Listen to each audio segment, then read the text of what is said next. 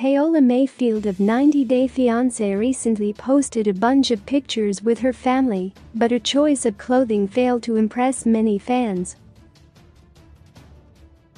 It isn't the first time Paola has got negative comments from fans. A few months ago, she received major backlash from 90 Day Fiancé viewers when she took a dig at her husband, Russ Mayfield. Paola revealed the Russ lost his job in Oklahoma and he couldn't find work for an entire year. He finally got a job in Miami with Paola's help, but he was laid off from that as well.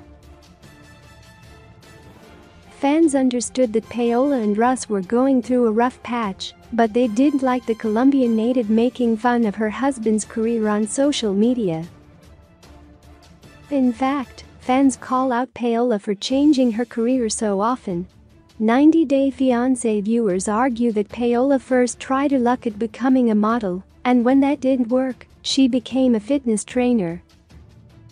At the beginning of 2021, Paola again switched careers and became a wrestler. Paola is a multi-talented woman, but some fans think she is a jack of all trades and master of none. Point 90 Day fiancé star Paola recently posted happy family pictures with Russ and their son, Axel Mayfield, to wish her Instagram followers a Merry Christmas. She wore a red-colored nightdress, which many fans found quite inappropriate. A fan reposted Paola's photos on Reddit with the title, via BANANAPANCAKES 15, Merry Christmas from the trailer park, while I pose in lingerie with my kid.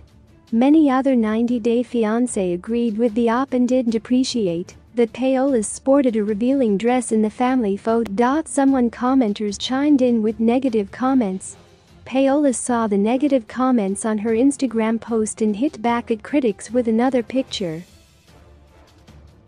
She explained that there is a difference between a nightdress and lingerie.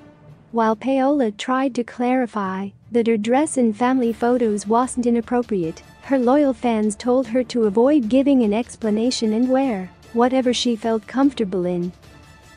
While most 90 Day Fiancé stars wore matching PJs to take Christmas photos with their families, Paola wore a nightdress.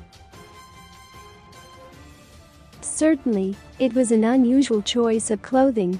But what's more important is that Paola and Russ are still happy together. The couple, who was almost headed for a divorce, is now celebrating the holidays together with their adorable son.